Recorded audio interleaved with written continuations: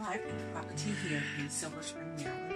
And what we're doing is a small basement area. We're going to convert this space into a playroom for the children. So it was previously a storage area, and we still have some storage things going on there. But this area right here, we're going to transform this area into something absolutely amazing for kids.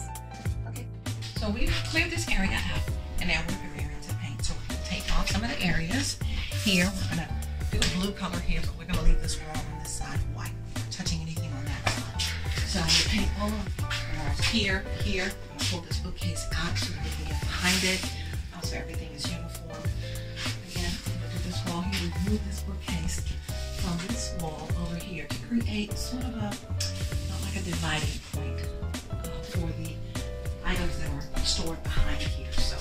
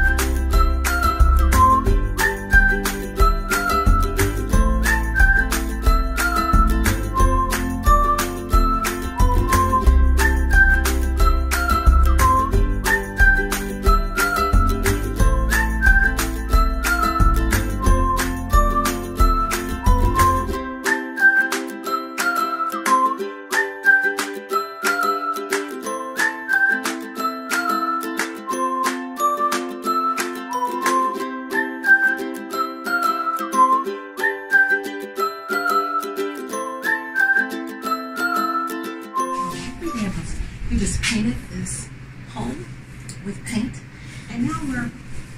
Come on the side of it. We're gonna get a distressed look, so it looks like it's old and tattered. That's the look we want to go.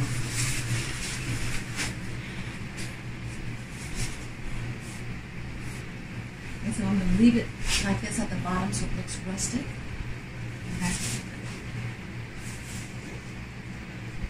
This is going to end up being, um, it's going to look sort of like um, a book down. So.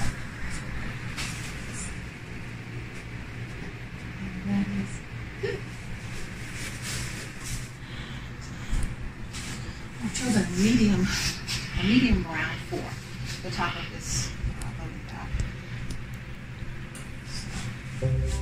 So.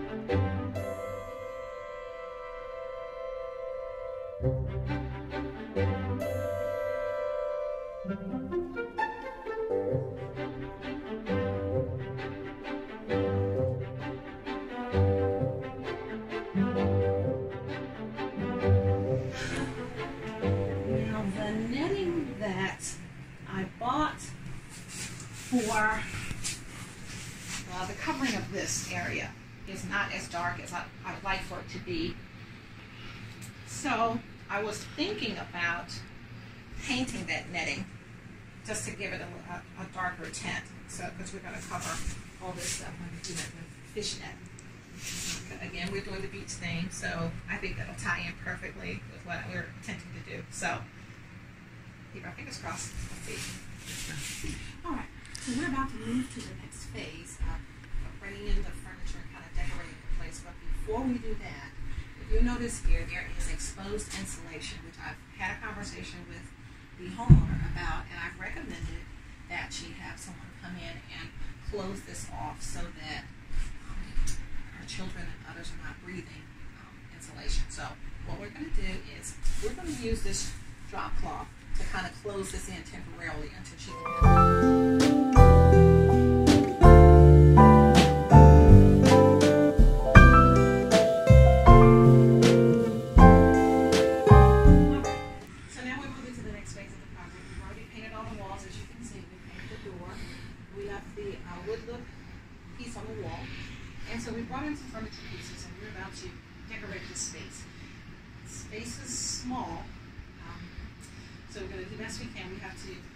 Incorporate a lot of uh, the children's games and things into the storage area.